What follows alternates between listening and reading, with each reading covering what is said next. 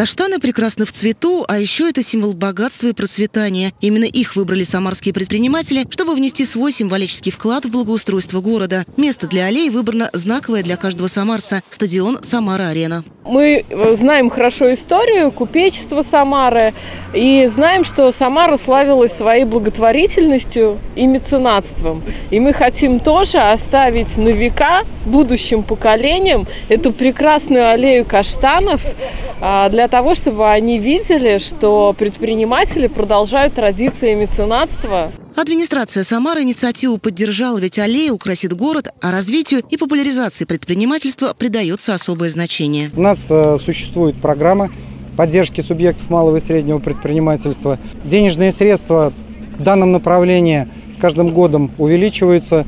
Там присутствует и грантовая поддержка, и многое-многое другое. В прошлом году 41 субъекту малого и среднего предпринимательства возместили затраты, связанные с уплатой процентов по кредитам, на общую сумму 11 миллионов рублей. Экологическая акция – пример сотрудничества бизнес-сообщества и городских властей. Мы высаживаем аллею предпринимательства. Это такой символ для всех предпринимателей, для всех людей дела. Показать, что мы не только люди, которые создают бизнес, но мы еще и готовы делать такой вот символичный вклад в благоустройство нашего родного города. Поэтому для меня, конечно, это важно, я не мог оказаться в стороне. Администрация городского округа Самара продолжит поддерживать инициативы, которые направлены на популяризацию и развитие малого и среднего предпринимательства в столице региона. Ольга Павлова, Юлия Василькина, Василий Колдашов. События.